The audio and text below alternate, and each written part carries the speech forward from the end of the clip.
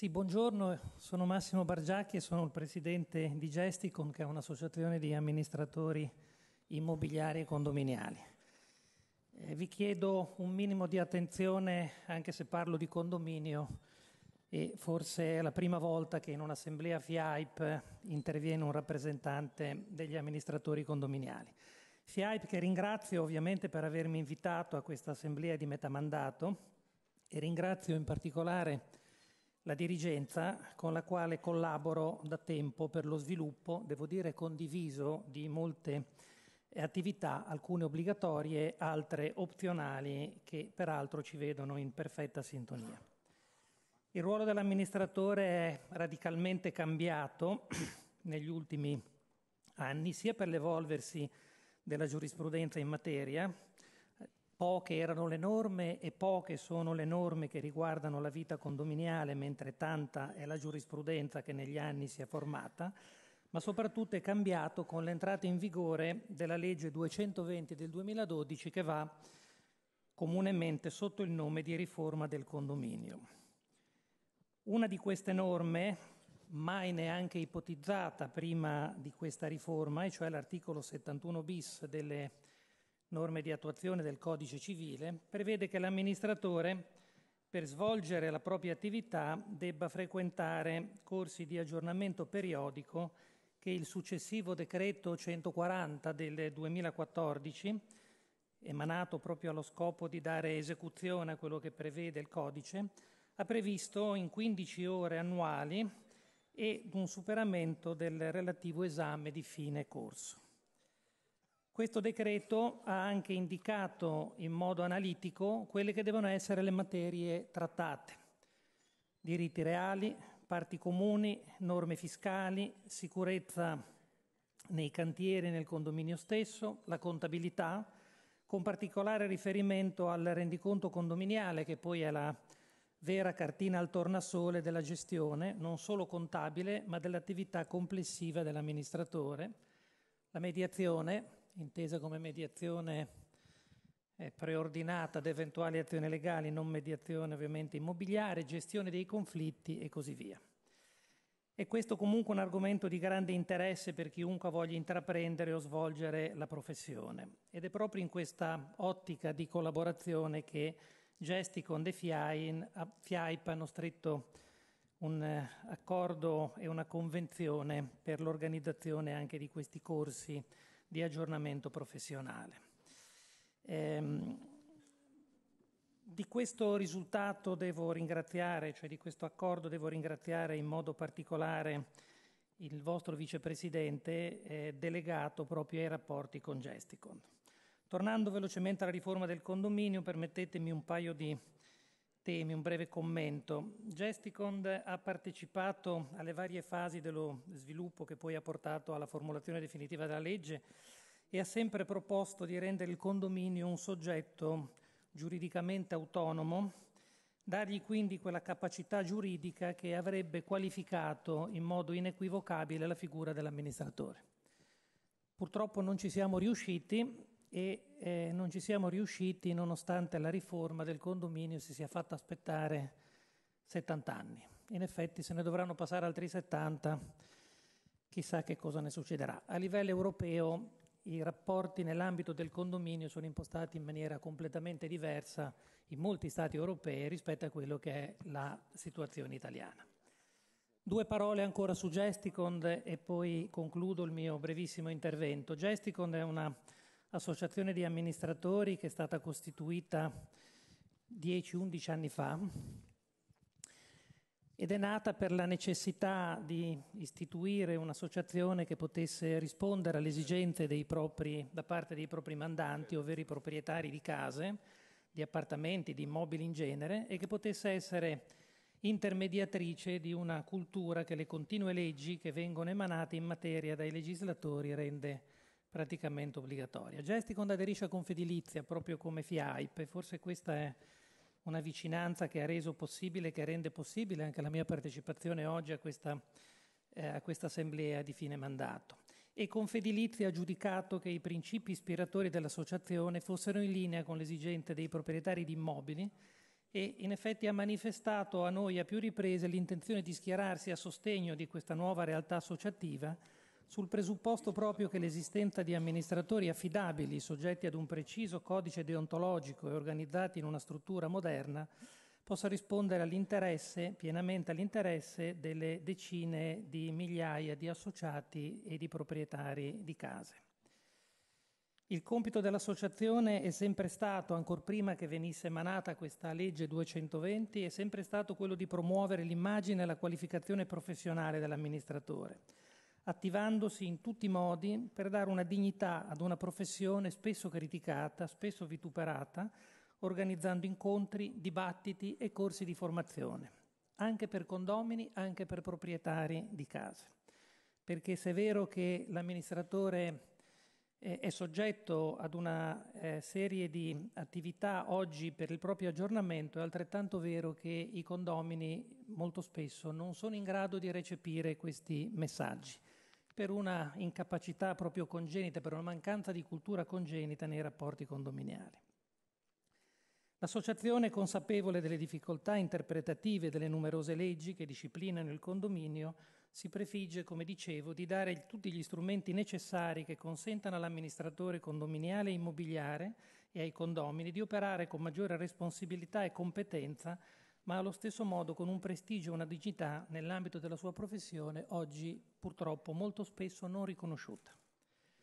Si tratta di un'associazione, quindi la nostra, che assiste e forma i propri associati con tutta una serie di servizi predisposti all'uopo, ma contemporaneamente vigila sulla professionalità nei modi previsti dalle norme e ne tutela la figura e il prestigio molto più efficacemente, riteniamo perlomeno, di quanto non possa farsi difendendo indistintamente interessi di categoria che spesso sono lontani dalle, dalle reali esigenze del professionista. Lo statuto di Gesticon prevede tra le finalità istituzionali dell'associazione quelle di fornire a tutti gli associati attraverso un proprio centro studi e formazione strutture organizzative e strumenti scientifici idonei a curare la determinazione dei livelli della loro qualificazione professionale, quella di compiere quanto necessario per l'aggiornamento degli iscritti attraverso corsi periodici di formazione e di perfezionamento e quella di rilasciare a tutti i propri associati attestati di formazione professionale soggetti a verifica periodica. Lo statuto di Gesticon impone ai propri iscritti, proponendosi di verificare con adeguati strumenti che ciò avvenga, il rispetto di un codice deontologico che, al fine di rispettare le prescrizioni delle norme europee, viene integralmente assunto nello statuto così da formare una parte integrante ed essenziale. Questo codice deontologico, oltre a conformarsi alle linee ispiratrici della riforma dell'istituto condominiale,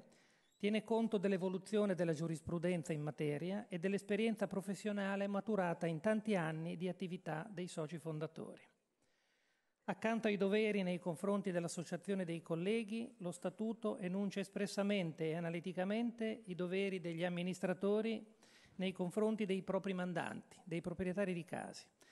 di case, quali per esempio, ma solamente per citarne alcuno, quelli di evitare il più possibile situazioni comportanti conflitti di interesse, quello di curare con la diligenza massima la tenuta dei registri e della documentazione condominiale in genere, quello di dotarsi di congrue garanzie assicurative e fideiussorie. La nostra associazione nasce con una convinzione profonda che il tema del buon comportamento del professionista sia uno degli elementi che ne possono supportare il successo. Quali siano questi contenuti del buon comportamento sui quali porre l'attenzione per evitare facili affermazioni di principio poi prive di contenuto e per affrontare le continue nuove frontiere, le sintetizzo in alcuni punti. Il primo è costituito dalla competenza e dal continuo aggiornamento professionale. Nessun professionista può essere sereno, propositivo e porsi come problem resolver nello svolgimento del proprio lavoro se non è padrone degli elementi fondamentali del lavoro stesso. Per un amministratore condominiale la conoscenza degli aspetti normativi, sia di natura civile sia di natura penale e di quelli regolamentari, assume una rilevanza cruciale anche in considerazione della praticamente infinita numerosità delle fattispecie che possono presentarsi e della significativa, ahimè tutti lo sappiamo, tendenza al contenzioso che investe il comparto nel quale noi operiamo.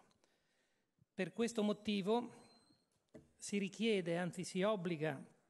ai nostri associati percorsi sistematici di formazione professionale con l'obiettivo di coniugare la formativa esperienza con il continuo aggiornamento professionale. Un secondo elemento è la cultura del servizio, le competenze professionali rimangono un bagaglio di scarsa utilità se non sono accompagnate dalla consapevolezza che la buona organizzazione dell'attività professionale, orari di apertura ufficio, tempestività negli interventi, facilità di contatto, effettuazione operazioni, chiarezza nelle rendicontazioni e via di questo passo, rappresenta un processo e non solo un obiettivo che quotidianamente occorre affinare. In tale contesto assume particolare rilevanza la selezione dei fornitori che costituisce un momento più che significativo e delicato della nostra attività, momento che sistematicamente deve essere monitorato per far sì che la qualità del servizio richiesto risulti in linea con le aspettative. Terzo e ultimo elemento, che può sembrare un'affermazione ovvia ma molte volte non lo è, è il rispetto della legge. La nostra associazione, mentre da un lato ritiene del tutto incompatibile con l'appartenenza all'associazione stessa chi assume comportamenti contra legem,